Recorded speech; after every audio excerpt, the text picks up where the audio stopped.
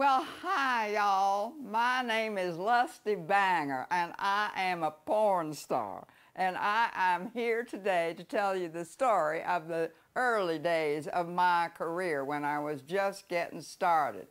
And I had made the acquaintance of this politician in Washington, D.C. by the name of Donald J. Bumfuck. You know who I'm talking about, I'm sure. Now, this was long before he got elected to public office, and he had a TV reality program. And he asked me if I'd like to be on it. And I thought that was a great idea. I'd get a chance to show that my brain was at least as big as his. And I could do some pole dancing and some dirty dancing, and you know, I'd begin to make a name for myself. Well, in order to do that, you know, we had a brief sexual encounter, and I emphasize that it was a brief encounter. It was a one and done. It was not an affair that went on.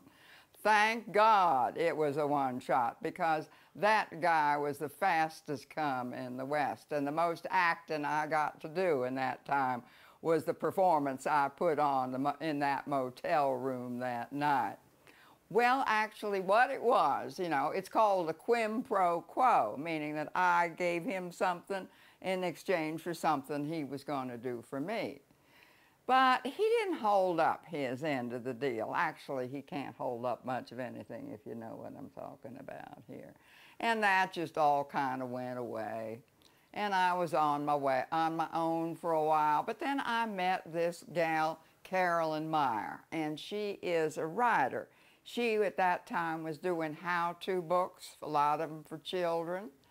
And it was a it was a click. You know, we got along really well. We got this idea that she would do some writing and then I would do some acting. Well, she'd done a book on sewing for little girls and some other kind of embroidery, you know, that kind of thing. We got the idea, let's do something for the little boys for a change came up with this idea of doing a woodworking, kind of a carpentry book for the boys, and we called it The Beginner's Guide to Banging and Screwing.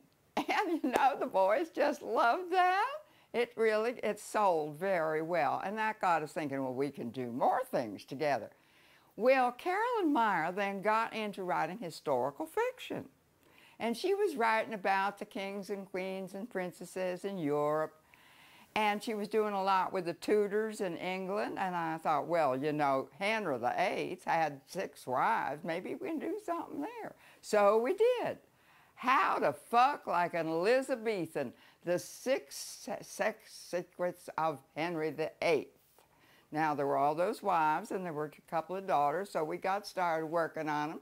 First one we did was Bloody Mary loses her cherry.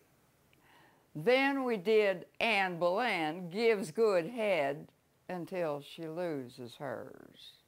Tried something else. Cleopatra goes down the Nile while Mark Antony goes down on her. And the last one we did was Marie Antoinette. Well, you know what she said very famously, let them eat pussy. And that started the French Revolution. So that is how my career has developed as a porn star. You can look for me on YouTube. Please be a friend on Facebook and remember my name, Lusty Banger Porn Star.